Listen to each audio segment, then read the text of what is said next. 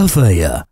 لماذا خرجت فرنسا من يورو 2020 بعد نجاح كبير حققه المنتخب الفرنسي في كأس العالم 2018 ها هي الصراعات والانقسامات تعود مجددا إلى داخل المنتخب. من المفارقات أن الانسجام الكبير الذي أظهره المنتخب الفرنسي في كأس العالم في روسيا كان سببا أساسيا في فوزه باللقب وذلك لأنه يمتلك كما كبيرا من النجوم تصعب أحيانا إدارتهم.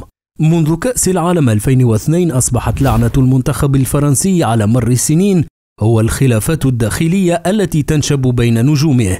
فقد أدت الخلافات إلى خروج المنتخب من كأس العالم 2002 من دور المجموعات. كما لم يستطع المدرب غيمون دومينيك من إدارة المنتخب في يورو 2008 وكأس العالم 2010 بسبب كثرة الصراعات التي حدثت في المنتخب. لتقدم فرنسا واحدة من أسوأ نسخها بعد النجاح الذي حققته في كأس العالم 2006 لعنة الصراعات ما تفتأ تنطفئ حتى تشتعل مجددا. وهذه المرة جاءت في واحد من أقوى أجيال المنتخب الفرنسي. أكثر ما تم امتداح ديدي ديشان به هو أنه تمكن من السيطرة على غرف الملابس في منتخب الديوك. كما أنه تمكن من إقناع أي لاعب في المنتخب بدوره. فلاعب مثل عادل رامي لم يلعب ولا دقيقة في كأس العالم 2018 إلا أن الحماس والروح التي تحلى بها داخل غرف الملابس تؤكد أن ديدي ديشان كان يعرف تماما ما يريد. ولكن مع استعداد المنتخب الفرنسي للعب يورو 2020 بدأت علامات فقدان السيطرة على غرف الملابس تطفو على السطح. البداية كيليان مبابي وأوليفييه جيرو لماذا لا تمرر لي الكرة؟ ثنائية جيرو ومبابي كانت من أغرب الثنائيات الناجحة في الفترة الأخيرة حيث ساعدت المنتخب الفرنسي على الفوز بكأس العالم الأخيرة في روسيا إلا أن ما حدث في الجولة التحضيرية قبل بداية يورو 2020 فاجأ الجميع. فقد صرح أوليفييه جيرو لصحيفة ليكيب الفرنسية قائلا لقد كنت هادئا بخصوص هذا الأمر ولكن في بعض الأحيان أقوم بالركض ولكن الكرة لا تأتي إلي. هذه التصريحات تم فهمها من قبل الإعلام الفرنسي على أنه انتقاد صريح لكيليان بابي اللاعب الذي باتت الصحف الفرنسية تتهمه بالتعالي والغرور تقارير من صحيفة ليكيب نفسها أفادت بأن كيليان بابي أراد القيام بمؤتمر صحفي للرد على اتهامات أوليفييه جيغو إلا أن إدارة المنتخب الفرنسي رفضت ذلك. شبكة جول في تحقيقها عن الواقع ذكرت بأن التوتر بينهما بدا واضحا في التدريبات بالرغم من أن إدارة المنتخب قامت بعقد اجتماع للصلح بينهما. الاتحاد الفرنسي لكرة القدم وفي محاولة لتهدئة الأمور قامت بنشر فيديو للاعبين أثناء التدريبات وهما يتبادلان التمريرات. العديد من الصحف ذكرت أن انفجار أوليفييه جيغو في هذا الوقت بالذات جاء نتيجة للضغط الإعلامي المسلط عليه فقد أصبح يعرف بالمهاجم الذي لا يسجل الأهداف. كما أن عودة بنزيما جعلت اللاعب يشعر بأنه سيتم التخلص منه نهائيا قريبا حيث ظهر التوتر واضحا في تصريحاته في أول مؤتمر صحفي له مع المنتخب قبل اليورو. وبعد إعلان تشيلسي لتجديد عقده بموجب بند في العقد يسمح لهم بذلك حيث صرح قائلا أريد أن أجعل هذا الأمر واضحا للجميع. تشيلسي هو من قام بتمديد عقدي منذ أبريل الماضي بموجب بند في العقد. المهاجم الفرنسي صاحب الأربع وثلاثين عاما أشار إلى أن تجديد عقده لا يعني رغبته في البقاء حيث صرح في عدة مرات برغبته في الرحيل. فجيرو عاش موسما عصيبا ولم يتمكن من إيجاد فرصته كاملة مع تشيلسي. البعض أشار إلى أن تعامل الإعلام مع جيرو لم يكن عادلا فهو ثاني أفضل هداف في تاريخ فرنسا خلف الأسطورة تيغي أونغي.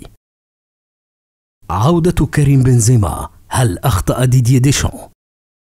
أسطورة نادي أرسنال والمنتخب الفرنسي إيمانويل بوتي صرح لإذاعة مونتي كارلو الفرنسية قائلا لطالما عانى المنتخب الفرنسي من الفوضى ولكن بعد قدوم ديدي ديشان وفي فترة وجيزة شعرنا أنه قد سيطر على غرفة الملابس قدرته على إدارة اللاعبين كانت هي نقطة قوته ولكنه أخطأ هذه المرة يرى إيمانويل بوتي أن اختيارات ديشان هذه المرة والتي كانت من بينها إعادة كريم بنزيما إلى المنتخب سببا في تجدد الخلافات حيث أردف قائلا قبل بطولة اليورو كنا متحمسين لرؤية ثلاثي هجومي مكون من بنزيما مبابي وغريزمان ولكن نسينا أن قوة المنتخب الفرنسي لم تكن في نجومه بقدر ما كانت في الانسجام بينهم.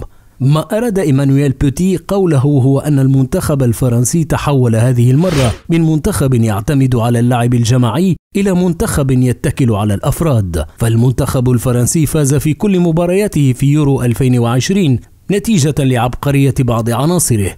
فأهداف كريم بنزيما كانت من صناعته هو شخصيا بينما قدم بول بوجبا أداء رائعا على المستوى الفردي.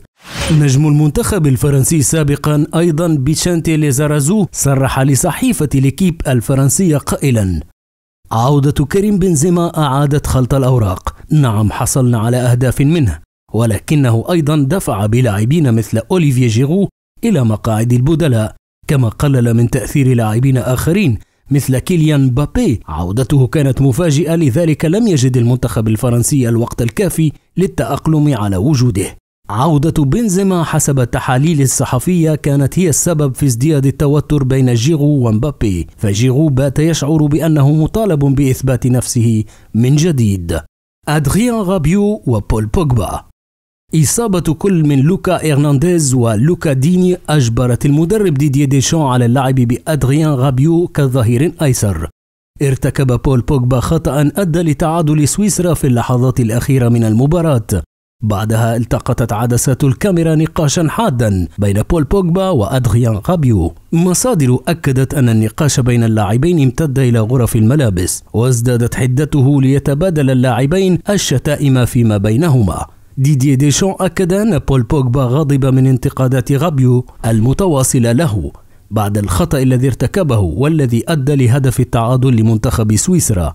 صرح ديشان بأن رابيو كان يجب أن يكون أكثر هدوءا في الملعب.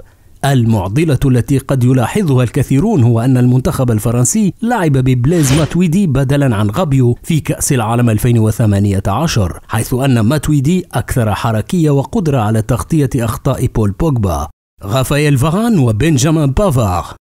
بحسب التقارير لم يكن بوجبا ورابيو هما الوحيدين على الخلاف بل انضم إليهما كل من رافاييل فاران وبنجامين بافار. حيث ذكرت التقارير أن رافاييل فاران اتهم مدافع بايرن ميونخ بسوء تغطيته الدفاعية وبدوره باتهام بول بوجبا أيضا بحسب المصادر فإن الملاسنات الحادة بين اللاعبين الثلاثة لم تكن لتخمد لولا تدخل المدرب ديدي ديشان والذي أخبر الجميع بالهدوء. الصراع بين عائلات اللاعبين. أوردت إذاعة مونتي كارلو خبرا مفاده أن والدة اللاعب أدريان رابيو والمعروفة باسم فيرونيك قامت بالاشتباك لفظيا مع كل من عائلة بول بوجبا وكيليان مبابي ذلك التقرير تم تدعيمه بصور من المدرجات. تظهر فيرونيك وهي تقوم بملاسنات حادة مع البقية بعد إضاعة ركلة الترجيح الأخيرة عن طريق كيليان مبابي في مباراتهم ضد سويسرا. تلك الحادثة بينت التوتر الشديد في الأوساط المحيطة بالمنتخب الفرنسي كما أنها أيدت التحاليل الصحفية التي ذكرت أن فرنسا فازت بمونديال 2018 لأنها لم تكن تحت الضغط ولكنها في المقابل جاءت لليورو كبطل للعالم. فلطالما كانت الخلافات تشتعل بين نجومه كلما زاد الضغط عليهم.